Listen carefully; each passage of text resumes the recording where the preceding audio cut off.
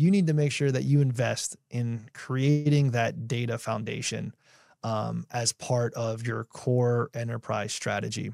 At the end of the day, AI needs data. As it matures in a couple years, maybe it won't need as much as models are already trained, but but you still need enterprise and organization specific data.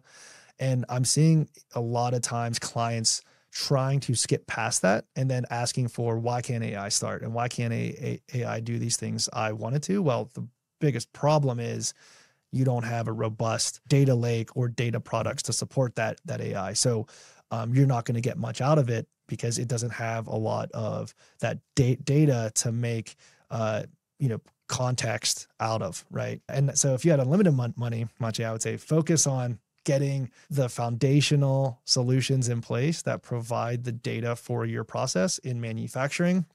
Those are things like ERPs or MESs or starting to get data out of the OT layer, right? And providing that into your data cloud in the commercial space. Those are your CRMs, uh, some of your marketing tools, those, those kind of things. You can't do any of the AI things that you want to do without having that data foundation.